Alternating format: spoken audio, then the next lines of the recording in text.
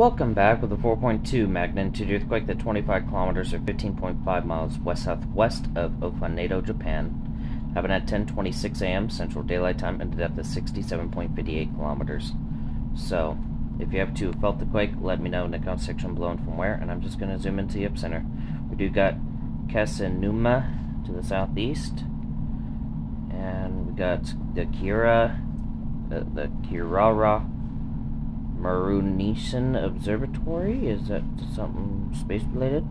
Interesting. Um, got a few, got a shrine, got a hotel, got a couple places are closed.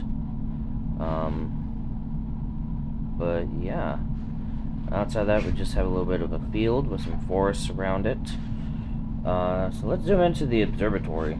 Yep, that's definitely full-blown observatory. Definitely looks nice. Um, but yeah, that's really about it. Stay safe out there. See you in the next video. Bye.